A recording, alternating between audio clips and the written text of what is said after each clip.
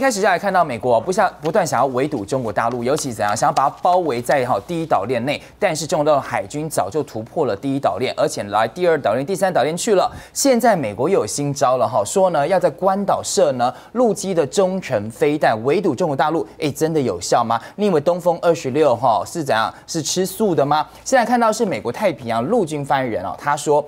哎，这是日本经济新闻说的哈，美军明年在印太要部署呢。陆基中程飞弹要提升对大陆的贺阻了哈，那这是自冷战结束以来首度建立中程飞弹的库存。然后呢，第一岛链附近的延伸，那要帮助冲绳啦、台湾到菲律宾的第一岛链，那要放什么呢？标六号，还有包括战斧，大概射程五百到两千七百公里。然后卡内基这个研究员就说，这个可能要放的地方就是关岛。为什么放关岛？因为连这个菲律宾跟日本也没有犯傻了哈，都不愿意呢放这个中岛的地方，因为就会变成解放军。攻攻击的目标，尤其是中国大陆导弹，第一岛链、第二岛链这些都有相关的东风飞弹，比如说东风二十六就是瞄准你关岛，更别说还有呢，这个夏威都打得到啊。呃，中国大陆当初在发展中程的弹道导弹啊，因为美国跟俄罗斯啊，为了避免彼此因为误会相互产生毁灭性的攻击，所以彼此之间对于中程的弹道导弹有了一些限制。那中国不不是在这个合约国内，所以中国在发展中程的弹道导弹。那为什么俄罗斯也好，美国也好不反对呢？是因为中程的弹道导弹它打不到美国的本土，那也对于俄罗斯的这个啊莫斯科那边不会构成任何威威胁。嗯，所以在这样的一个情形下，中国大陆就用比较多的力量在发展中程的弹道导弹。那发展的目的事实上是防卫性的。我们叫做积极防御，也就是说建立一个区域拒止的一个打击能力。那这个区域拒止的打击能力，基本上就是以航母作为一个假想敌，嗯，还有以关岛，啊，以这个其实还不到夏威夷，还没夏威夷前面更远。那么作为一个假想敌，包括啊，对于日本啦，对于韩国啦。对于啊菲律宾啦、关岛啦等，它建立起一个包围圈，嗯，啊，建立一个应该讲不是包围圈，是防卫圈，反介入跟区域拒止的圈这样子，嗯，就这样子建立一个圈。那也就是说，你美国的航母如果要攻打中国大陆，你靠过来的时候，那中国大陆已经可以有效的把你挡住。可是它对美国的本土不会构成威胁，嗯嗯。但是今天美国的中程弹道导弹的发展技术是落后于美国。呃，中呃落后于中国大陆，而你美国如果把这个中程的弹道导弹放到关岛，哦，或者是澳大利亚，或者是菲律宾，你等于是直接威胁到中国大陆的本土的安全。对啊，为什么？因为中程的弹道导弹除了装核弹，呃，除了装一般常规动弹头以外，它一定可以装核弹头。一旦装核弹头，对中国大陆一定会构成直接的啊这个安全上的和毁灭的威胁。那各位想想，中国大陆面对美国这样的一个做法，除了这个红旗要扮演重要的角色以外，您认为大陆会怎么做？嗯，大陆当然就变成被迫，他要开发，嗯，这个直接可以威胁到美国的本土安全，而且效果一定不能够低于中程的弹道导弹的这个效果。嗯，那这代表什么？代表中国大陆要建立起超高音速的洲际的弹道导弹，那就势在必行。嗯嗯，这第一个。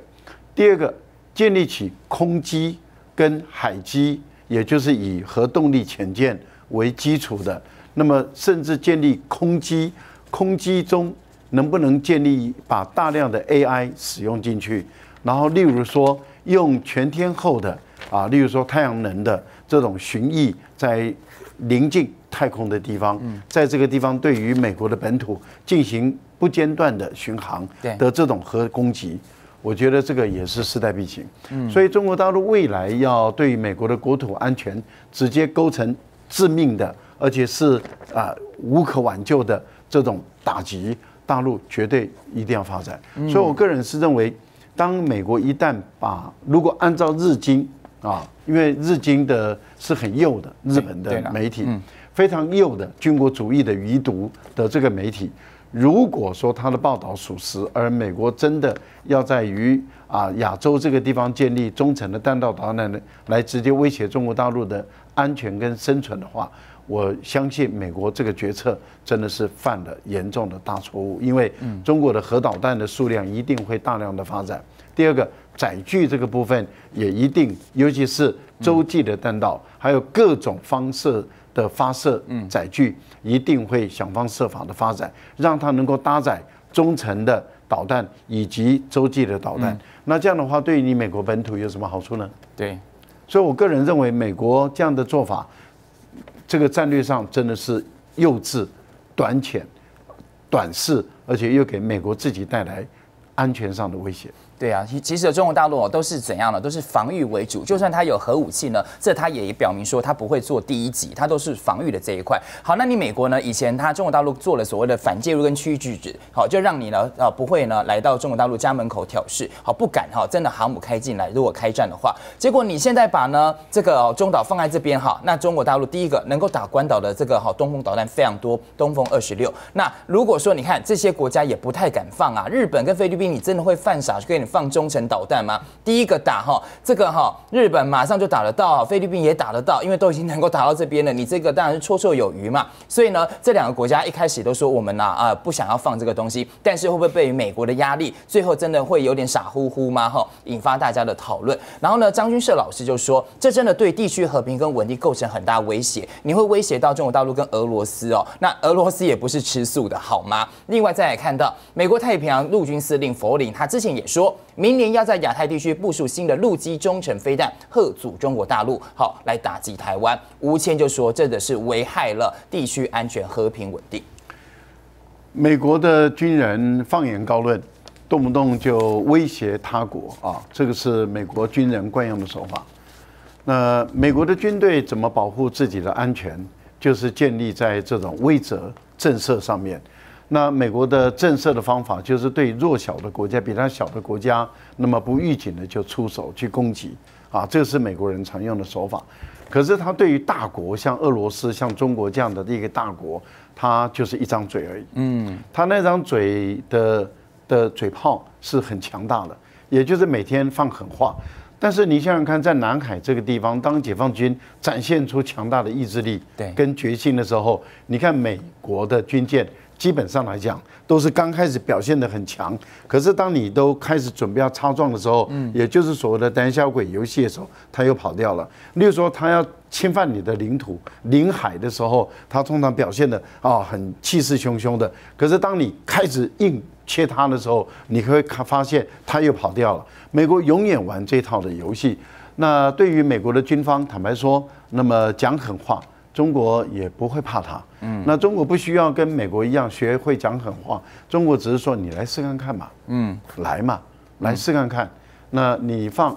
我就有办法摧毁你，你敢借助台湾的事情，我就有办法把你击败。我觉得这个就是很简单的事情，解放军也不是吃素的，对，啊，在朝鲜战争的时候，解放军打了美国，啊，也没有讨到任何便宜，而且美国是以代间的武器差。嗯，都没有打，都没有讨到便宜了。现在武器的差距已经越来越缩短了，甚至有些领域中国已经超越了。在这样的情形下的话，何惧之有？嗯，而且美国的军人当兵是为了拿钱养家活口的，中国人当兵是为了保家卫国，这是很大不同的。嗯，对，所以呢，你看美国在中国大陆家门口呢，其实真的被说讨不到任何便宜，所以台湾真的要特别注意哈，怎么跟中国大陆相处，而不是呢真的被卷入战争当中，因为美国恐怕赖老师说胆小鬼游戏到真正要开战的时候，他跑得比谁还来得快。好，另外再来看到美国现在也坦诚说很担心中国大陆这三种武器哈，这是因为他跟 OCUS 呢建立联盟，要呢发展这些武器，发展这些武器对中国大陆就代表他们担心中国大陆这些武器嘛哈。胡锡进就说了，美国。现在担心中国大陆三样东西。第一个呢，中国有能力摧毁美国的太空侦察、跟导航卫星，这当然是北斗这个为主嘛哈。还有中国大陆高超音速的飞弹、高超音速武器东风系列的，还有呢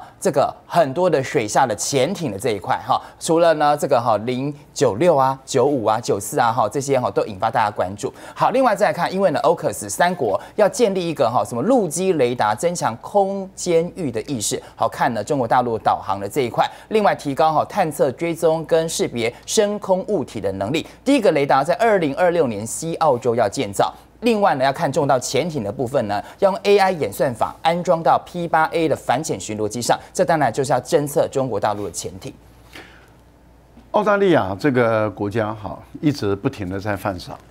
哦，他一直认为说，我把安全跟经济把它完全切割，那中国大陆一定会买单，他认为是这样。那这个最主要的基础是建立在第一个，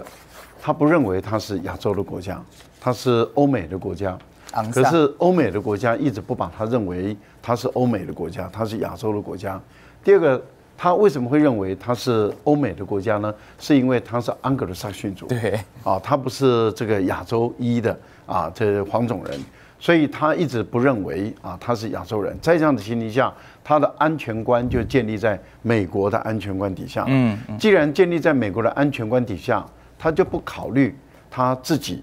其实。跟中国大陆没有地缘政治的矛盾，对呀，他就建立在他要担任美国的旗手，美国的这个前哨站。那这样的话，他就让他自己陷入了跟中国大陆直接爆发冲突的矛盾点了。那一旦是如此的话，你看澳大利亚，他又在经济上依赖中国大陆，所以他一手拼命想赚大陆人的钱。嗯，呃，我再跟各位报告简单的讲一下，澳大利亚。养活自己跟中国任何关系都没有的话，没有问题，但是可以过小康的社会。嗯嗯。可是澳大利亚人要富裕，要过现代的生活，他是必须要跟中国大陆有贸易。对呀。因为中国大陆是他的第一大贸易伙伴。对。而且每一年让澳大利亚赚很多钱，让澳大利亚富裕赚很多的钱，这代表澳大利亚的政府的税收很大一部分就是来自于中国的贡献。是。他的税收拿了这么多的贡献，他却把那个税收拿了很大的一部分的钱，这次又烧掉二十亿美元，来购买这些先进的雷达的设备，然后再用这些设备，然后再用去装啊这个 AUKUS 的核动力潜舰来威胁中国的安全。各位想想，中国是冤大头吗？我一方面给你赚钱。你拿到我赚的钱，嗯，你就去买买武器来威胁我的安全，这是什么逻辑嘛？是，但是澳大利亚却一直走这条路，那这条路走下去的话，跟中国大陆的关系就很难正常化，嗯，也很难健康的发展。嗯，现在的情况是，怎么样走到大陆忍无可忍的时候，那当然就会再度出手了。嗯，那再度出手，那你澳大利亚又要在那边叫了半天。啊，我觉得以目前来看的话，呃，澳大利亚目前的做法是看起来是要一路走黑走到底了。为什么？因为这次买的是帮美国、英国去探测中国的军事的活动，是啊，包括这个监测这个低轨卫星三点五公里左右的这些监测站，也包括对于啊这个声呐或是 AI 来去反潜。我认为中国大陆啊。目前来说，要跟美国较量的，已经又进入另外一个新的领域，也就是怎么样把 AI 用在武器上。嗯，你看美国人的虚伪性哈，美国人有多虚伪？他一方面跟你说，哎呀，我们两国政府应该来谈一下，怎么样不要用 AI，好，就怎么样能够让 AI 不要用在武器上。他一直要拉着你哦，对。可是他二方面他就继续在推动资，嗯，这个就是美国人政府的惯用的手法，就一方面想用，不要把 AI 发展武器用这个法律来框住你，二方面他却不断的发展，不停的发展。例如说，他透过投资让澳大利亚、让英国在发展，其实美国人一贯如此，一方面跟你签合约，呃，签条约。二方面继续发展，对俄罗斯就是这样，嗯，所以他的防导成功了以后，就把条约撕毁。同样的道理，当他的 AI 用在武器上超越你的时候，他就把条约撕毁。所以我个人认为，中国大陆一方面跟美国继续签条约，二方面继续发展 AI 在武器上。一点都不要手软，速度也不要减慢，而且呢，要跟他比快。对，当然要比快啊，哈。所以呢，因为美国常用这种方式嘛，比如说天天指控别人什么核扩散呐，哈，那这个 OCUS 不就是在核扩散嘛？对嘛？你就跟双标啊，你就让他讲嘛，然后你就跟他一直玩下去，根本不用管他。对，跟他一起哈，来看看谁的底气比较足。时间是站在中国大陆这边的，你的四年就换一个政党哈，会乱来乱去。好，另外再来看呢，我想问赖老师是说，美国是不是也坦诚说担心中国大陆这三样的武器了哈？高超音速武器跟潜艇，还有呢哈，这个包括卫星导航这些相关的问题。另外呢，Political 也说，在跟中国大陆这些竞争高科技军备竞赛当中，美国国防部真的也开始担忧，说我们好像有些领域已经落后了，比如说呃，它的反应能力，还有呢，这个制造的武器的能力都说哈慢了哈。他说呢，传统的国防承包商无法用必要的速度、规模跟灵活性应对现代的冲突。中国大陆在过去三十年已经成为造船、关键矿产，还有呢微电子领域全球的工业强国。中国大陆工业不仅啊大幅超过了。美国容量还是欧洲跟亚洲盟友的总和。呃，您刚提到了就是胡锡进所说的啊，这个啊超高音速的导弹，这个确实中国大陆是领先的啊。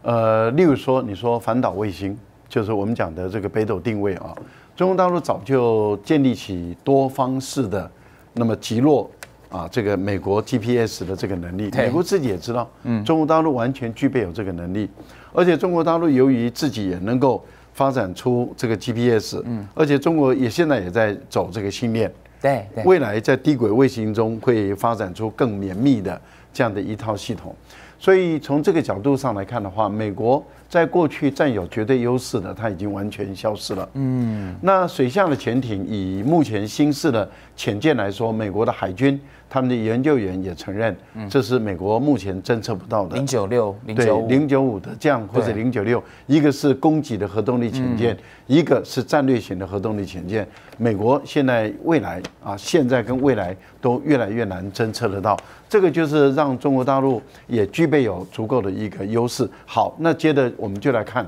两国之间如果一旦交战，那就是一个总体战，也是一个比较耗时的长期的战争。那这个总体战跟耗时的长期的战争，我们就看一下，美国由于它在过去它打造一个全球的生产供应链，所以它的国内的很多的生产制造业，他们就认为说他们没有必要对把这一些工厂设在国内，他们只要掌控关键的零组件以及掌控这些先进的设计制程，所以他把他的大部分的这些生产制造。就外移了，嗯，有到韩国去，有到日本，有到大陆，有到台湾，有到越南，有到印度等，他就把它移出去了。有按外包。对，有按外包，他移出去了以后，那中国大陆也借这个机会。啊，从台湾、从美国、从日本、从韩国、从欧洲很多国家的生产制造业都进入中国以后，中国就学会了全世界的生产制造业了。有德国的重工业，有日本的，有美国的，有法国的，有台湾的精密制造等等，所有的中国大陆都已经学会跟掌握。那中国大陆很知道，生产制造业是一个国家的经济的基础。所以就没有让生产制造业在中国大陆的土地开始在价值在攀升，人工的成本在攀升的时候，让它大量的移到这个越南或是印度去，而是让低技术含量的，然后高耗能的，然后高人人力成本的把它移出去。可是中国大陆还是维持一套完整的工业体系，这套工业体系大陆额外珍贵、额外珍惜。所以我们看。如果未来两国要相交战的话，美国很明显的它的国防工业的生产制造没有办法满足大量的消耗，而中国有能力满足大量的武器弹药的消耗。嗯，那这样的情形下的话，美国怎么可能跟中国进行一场这种大规模的消耗的战争呢？嗯，如果美国没有办法速战速决赢得了这场战争，对，那这场战争打到最后，美国是必败无疑。所以。如果要速战速决赢得这场战争，你就不能排除美国会在第一时间使用杀手锏。啊，那也就是使用核武。那所以中国大陆也要预防，嗯，美国使用核武，所以中国也必须要思考，如果你美国第一时间使用核武，中国也会在第一时间使用核武。是那这样的情形下的话，看能不能吓阻住美国不敢在第一时间使用核武。所以我觉得在这个部分，两大国之间如果真的一旦交战，那就是一个人类间最大的悲剧，也是人类间最大的恐惧。太阳星全效克菲尔益生菌，我吃了两三天，最明显的感觉是睡眠品质竟然变好了。睡得好，让我整个人工作更专注，心情也变得更稳定更好。因为太阳星全效克菲尔益生菌，才让我认识到克菲尔益生菌，它是由多支菌种的益生菌所组合而成，不仅能够维护消化道机能正常运作，还拥有多种有益健康的保健功能，相当强大。你知道吗？有台大教授专门研究它，称它是神仙的礼物。上千篇的国际研究证实，克菲尔益生菌不仅帮助肠道健康，肠道菌透过肠脑轴影响全身器官，所以维持肠道菌丛的平衡是解锁身体健康、精神健康的钥匙。对帮助睡眠、维持好情绪真的很有感。也因为这不是药，有季节敏感、代谢困扰、关心恶性细胞风险的好朋友，选择太阳星全效克菲尔益生菌，做好日常的保养，身体健康没负担。每日克菲尔，时刻美好，Good Feel Feel Good，请上快点购健康下单，输入推荐代码有额外的折扣。